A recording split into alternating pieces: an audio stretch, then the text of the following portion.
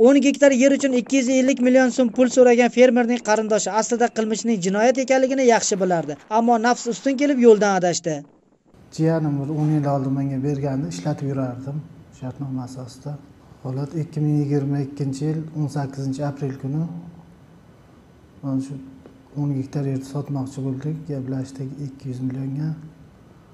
Uni ular olib kelib olayotgan payti ichki ishlar tarafidan qo'lga oldi.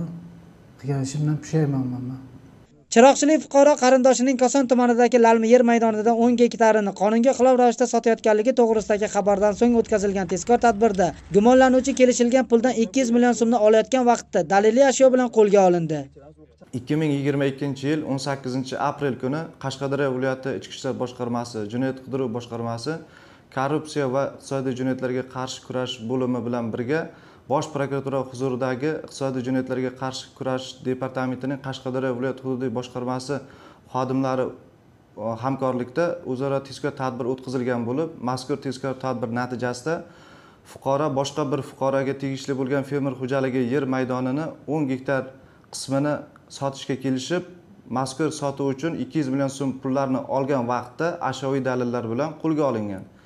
Ushbu holat yuzasidan o'zbekiston respublikasi jinoyat kodeksining bir yuz oltmish sakkizinchi moddasi to'rtinchi qismi a bandi bilan jinoyat ishi qo'zg'atilib hozirgi vaqtda qashqadaryo viloyati chiroqchi tumani ichki ishlar boshqarmasi huzuridagi tergov bo'limi tomonidan dastlabki tergov harakatlari olib borilmoqda. Aybdor qilmishidan pushaymon tabiiyki biroq afsuski u keyingi pushaymon o'ziga qimmatga tushganini kech anglab yetdi.